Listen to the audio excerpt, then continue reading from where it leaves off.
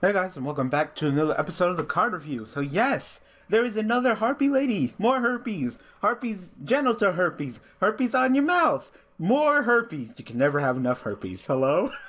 anyway, yes, there's a new harpy lady, which is great because definitely harpy ladies are a very fine deck. There is there is no doubt that you know harpy ladies can actually do something. You know, with uh you know their field spell being able to pop back row, uh, with their ease to go into lightning Chidori, and you know the strength of uh Channeler to be able to go into you know some uh some big eyes and some Dracossacks. Uh, the deck has potential, but there is one one major flaw with Harpy Ladies, and you know a ton of people argue with me about this, and they're just like, no, no, they don't, no, they don't.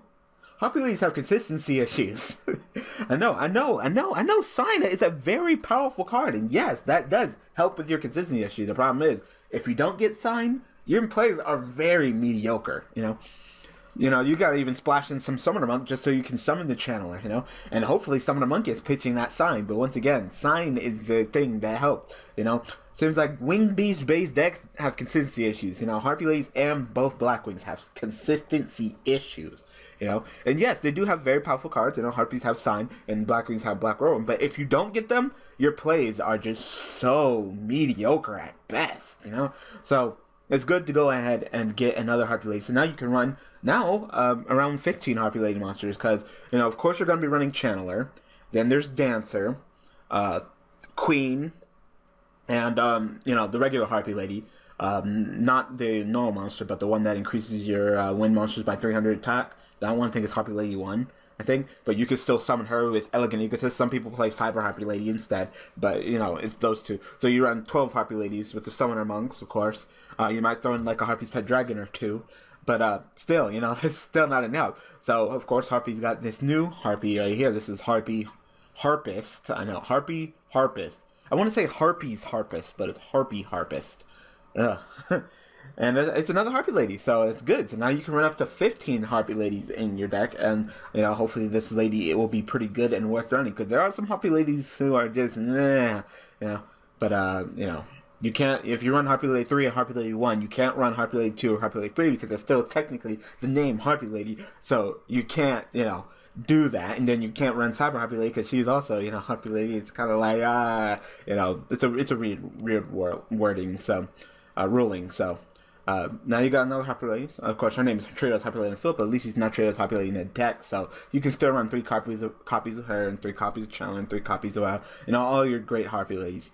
You know, and if maybe if you can get the consistency of Harpy Ladies, you know, uh, you know, this may not be the best of formats because the deck doesn't float, and if you know, if your boat doesn't float, or if you don't drink a root beer float, then you know you can't complete in this format. But you know, I can definitely see if you know, uh, you know, this deck uh, giving uh, a hard time, and that might be interesting. You know, with your fail spell, going ahead and summoning your harpies, popping their pendulum zones, uh, you know, popping their vanities, popping their skill drains, just through the strength of your field spell alone.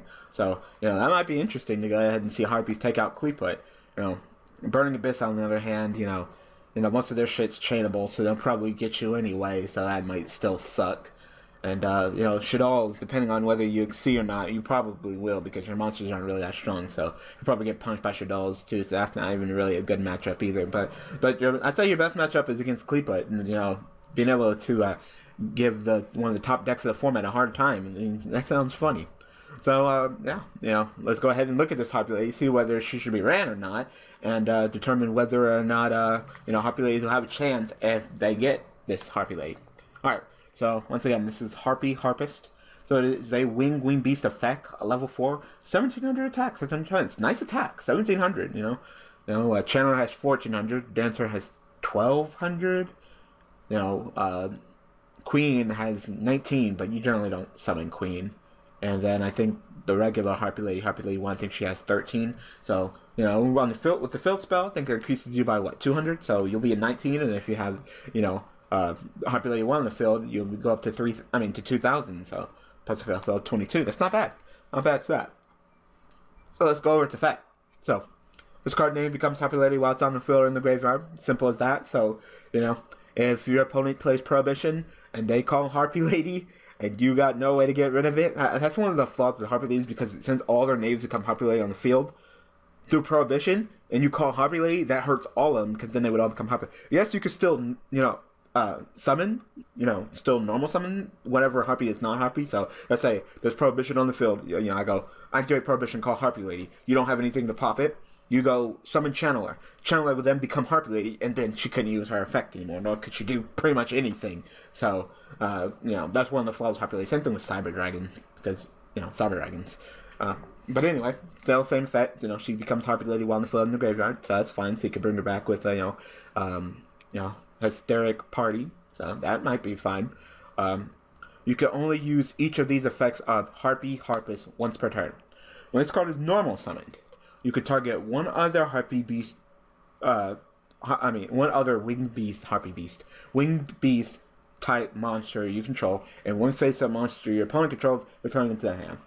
All right, so you know that's not too terrible. You know, if you go, um, you know, activate uh, hysteric, uh, uh, hysteric party, you know, summon, you know, pop back row, you know, pop, you know, summon this, pop another back row. You know, if you if you summon channeler, or you know, if you you can go ahead and uh, use this card, return, you know, a harpy to the hand, and bounce your opponent's monster, and then you would have a harpy in your hand for channeler to use, you know, channeler's effect. So you know, that play's not too terrible. You know, you know, you get to go ahead and return uh, Wing Beast monster you control back to your hand to go ahead and uh, bounce something back to your opponent's hand. So, depending on what your opponent has, it's not a terrible effect. Alright? So, second effect. During the end phase, this card is in your graveyard because it was sent there this turn. You can add one level 4 Wing Beast type monster with 1500 attacker uh, less from your deck to your hand. So that is actually a very good effect, and that might be a very effect that can definitely help Harpy ladies because like I said, they had consistency issues, but now they got their own little kind of uh, you know pseudo floater searcher. So uh, just during that phase, this card is in your graveyard because it's sent there this turn. So whether it's sent there because you um uh you know um Icarus attacked it, whether it was destroyed by battle, whether you exceed with it and it's attached as a distributor, so you can literally go summon Channeler, pitch, summon this, XC, do you know Lightning Chidori, you know bounce some uh, and spin something that was set back to the bottom of that, detach this, spin something face up to the top of the deck. Then during the end phase, this would get to search you for another channeler. So this is actually a pretty good combo. This combo kind of reminds me of uh, you know, Satellar Knights, how they go, you know, you know, Deneb, search Altair, Altair, Deneb, search, Altair, Xe, you know, search, search, summon, search. So this this card can pretty much allow the harpies to pretty much do the same thing, except of course with you know the whole channel thing, you would lose, be losing resources because you still have to pitch for that Harpy Lady. But, uh, you know, that's a play that you could totally do if you have the Harpy Ladies in your hand. You know, uh, you can go ahead and just go, you know, summon channeler, pitch, summon this, XC, detach this during the end phase, go ahead and get your search. Because if it was sent to, if it's in the graveyard because it's sent there this turn, that includes from detaches as well. So definitely, that's a very powerful play you can do. Uh, search for a Winged Beast type monster that's 1500 attack or less. So you can search for Dancer, you can search not for this because it's 1900. You can search for Harpy Lady one, but I, I don't know why you should search for that. You can just summon it through Elegant Egotist, and uh, you can search for, of course, the best one, Channeler. So there you go. So uh, you can't search for Queen either. But um, there you go. There's some uh, interesting plays that you can go ahead and do there. So um, you know that increased your monster count of uh, Harpy Lady. So maybe we can actually see some Harpy Ladies. You know, Harpy Ladies have been on Daily Duels for you know I think it, it was on, then it got taken off, then it came back, then it got taken off. But it's not gonna come back if you're wondering, just because I'm revealing this card.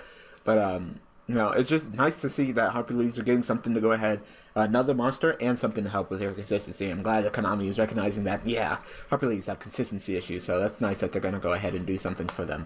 So you know, and uh, you know, just uh, kind of tweak Black Wings a little bit, give them a little bit more consistency, and you know, we might actually have something with these two decks. They might actually be able to do something. So uh, tell me what you guys think about Harpy Harpist in the comment section below. So uh, I hope that you guys enjoyed this episode of Card Review. So thanks for watching. Thanks for all the support. And I will see you guys Thursday with another card to look at for the review. Alright, thanks for watching.